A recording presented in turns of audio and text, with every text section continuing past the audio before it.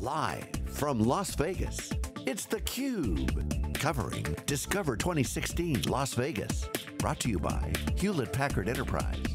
Now, here are your hosts, John Furrier and Dave Vellante. Okay, welcome back everyone. We are here live in Las Vegas for HPE Discover 2016, Hewlett Packard Enterprise. SiliconANGLE Media is theCUBE. It's our flagship program. We go out to the events and extract the signal from the noise. I'm John Furrier, my co-host Dave Vellante. Our next guest is Alastair who's the VP of Technology Services of the Compute Group within HP Enterprise. Alastair, welcome back to theCUBE. Thank you, great to be here. So I just want to uh, start the segment off here, just quickly to define and clarify the HP spin out of the other services group technical service. We're going to have Scott Weller on, yes. Uh, the chief of the group. Um, and just and just draw the decision. Just take a quick second to, to explain the difference between kind of what's happened because the announcement of spinning out the, the outsourcing services group with CSC, explain and what's left over, why it's relevant, so on and so forth. Sure, no, great question. I was expecting you to, to ask me that one. Uh, so enterprise services is really where customers choose uh, us to operate and run their environments for themselves. So it's really where they abdicating responsibility for IT. Um, and that's been a very successful business, clearly, for, uh, for us over a number of, of years. And technology services, uh, we've really acted as a supplier to them, quite frankly. We, we actually we view them as a very important customer, even though they're an internal entity currently. Um, so really, uh, from, a, from a technology services perspective, we're very much focused on the infrastructure itself, providing support, providing advice and guidance and technical consulting around the, the, the, physical products themselves. And clearly enterprise services then take those and they add layers of value on top, which they then present back to. ES, enterprise services, what's being spun out. Correct. That's more on the delivery end-to-end, traditional kind of SI kind of function. Correct, SI, managed, yeah, managed uh, services. You guys are doing technical services, which is really the, the meat and potatoes of helping customers get to their destination of whatever outcome they're looking for. That's yes. a solution around hybrid cloud, obviously you're on the compute side. Um, what's the most important thing going on there and why is that staying within HP Enterprise? So, I mean, what we do exactly as you described is, um, I, would say it's more than meat and potatoes, quite frankly. it's very, very the strategically on, important. Meat on the bone, or no, yeah. but important. It very, it's, it's, it's, extremely, extremely important. And you're right, from a, from a technology services support perspective, historically, We've had uh, a reputation and we've added value in the data center, um, specifically to help customers with availability and security of their, of their environments. And I think um, what we're doing now with the emergence of hybrid is really helping customers um, move on that journey and to ensure that they have very consistent experience uh, throughout, that, uh, throughout that process. So we're uh, really looking to empower them, and, and, especially around the, the placement of workloads and, and apps. We want to ensure that regardless of the uh, the environment or the platform that that app lands on, it's very clear that they have a support partner and a services partner to, to, to call on, and that's, uh, that's our role. I mean, I've always looked at the technology services component as the, the, the accelerant to achieve value as fast as possible, and it's sort of, okay, we're going to do this. How do we do it? Yes. You guys are who we call to get that done. Is that a fair assessment? It's, it's, it's absolutely, absolutely fair. So uh, you know, our, our, role is absolutely to look at the, you know, the business outcome that the customer is attempting to achieve, try and translate that back into um, you know, the technology aspects that they may, uh, that they may own or they need to, to buy or consume, and, and, and yeah, we're, we're there to really partner with them to extract that value. What's the biggest challenge that you see with customers right now? Because as they look at app development, workloads are a big focus yet the data center investments are there, and the hybrid cloud is that integration point. Can you share some things that you guys are doing right now? I know the data center care and some other things you guys have done in the past have been pretty successful. What's the new thing? What's the new insight that you could share with the audience? Sure, absolutely. So um, I think yeah, we, we, really regard IT operations as our principal customer. And uh, I would say in the discussions I have with, uh, with IT operations, really they're their principal challenge is meeting the needs of their developers. So um, you know, creating an agile environment which meets their needs and meets the needs of the, of the business. So it's all around the shift to, to hybrid, shift to, uh, to DevOps. And actually what we've been doing is we've been spending a lot of time looking at the, um, the unique characteristics of the public cloud and looking at how can we apply some of those uh, characteristics actually on-premise to, to aid and help our IT operations uh, colleagues and customers. So things like um, um, you know, changing the consumption model from just being a capex straight purchase to uh, a variable consumption model, looking at how can we help customers avoid the complexities of capacity planning. So how can we you know, take that away? And also, how can we give them, uh, customers and IT operations in particular, advice and guidance and help to really enable them to, to, to pull together you know, the, um, the DevOps supply chain with all these tools and technologies that, uh, that exist in order to, to really meet the, you know, the needs of uh, their customers. John and I talk all the time about you know, cloud, and, and everybody sort of thinks about cloud as a destination. It's where you put your data, it's where you put your apps, but we talk about cloud as an operating model. Yes. Independent of, of where it is, and I, I'm sure you guys sort of agree with that, but I wonder if we could unpack that a little bit. So what does that mean to change the operating model from you know, where we have been historically to where they want to go? What are customers telling you that? So, so, so, yeah, so I, I, completely agree. And in fact, you know, in much of the data we look at, actually the principal destination for customers or consumption model is private cloud or, or virtual private cloud.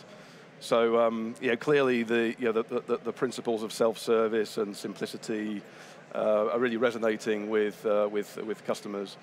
Um, really, the, you know, the, the, where our customers are looking for help is, is, is around automation and, and, and, really trying to remove the human middleware that, I mean, there's a lot of, um, there's a lot of heavy lifting that has to happen in IT if you, uh, if you own and operate your own, your own environment. And uh, historically, a lot of that's really not added true value to the, to the business. So it's about how do we, how do we automate that and, and ensure that um, uh, you know, customers can go from, you know, the business can go from an idea to to implementation as, as quickly as so possible. when customers go through a business case, Alastair, for automation, uh, do they try to target, okay, look, we're spending X amount on IT labor. That's not differentiating us from our competition. We want to cut that out through automation and we want to redeploy that to Y. Is that a part of the business case? Is it, is it, is it that explicit or is it more, there's just a better way, we can sort of go to school on what the public cloud people are doing and apply that and see what the outcome is. Talk about that a little bit. So, um, no, it's a great, uh, it's a great question. I, I would say that uh, actually every customer that I've come in contact with is, is approaching it in a slightly, um, in a slightly different way. Um, actually, it, it, what you tend to see is the impetus for this happen because of a particular project or, or, uh, or workload requirement. So rather than trying to transform everything at once, uh, customers are sort of looking at a particular use case. And yes, they'll, absolutely do as you describe. I mean, we'll, we'll sort of help to understand, well, what's it going to take to, to run it in a traditional way. And many customers will actually explore you know, private cloud and public cloud as potential, as potential sourcing options. And then based on, I guess, the unique business and IT context in which they're, they're, they're, operating in, because some, some are ready for, for cloud, some really aren't, some are much more advanced in their automation, than others. Uh, you know, they'll choose the, you know, the optimal location to, to operate their, uh, their workload. I think the other thing that their look, customers are looking at is, is trying to make the workload portable. So it's not just about making a choice and then that's where, that's where it's going to reside forever. That's sort of the traditional way that we've operated. You know, you buy a server and some storage, you run your app, and that's where it sits forever. Now we want to be able to actually move the, you know, the, the, the workload. We want to be able to optimally place it. And that may well reside in the public cloud for test and dev. You want to move it back um, uh, on-premise for, uh, you know, for much of its life, and you might want to end up moving it back again uh, as the app um, you know, comes end of life. When I first heard the term DevOps about five years ago, I was, uh, you know, John and I were talking about, explain that to me, and then you said something, John, at the time. It's, you know, Dave, it's really ops dev. You know, there's a way, so many ops people out there that need to transform. Are you seeing that transformation? How is that taking place from a, from a skills perspective? And how do, does HP Enterprises Technology Services evolve its skill sets to accommodate that? So I, I, would completely agree. I think it, it, certainly is ops dev, and, and I think the uh, you know, IT operations feel a sense of threat even from the, from the public cloud.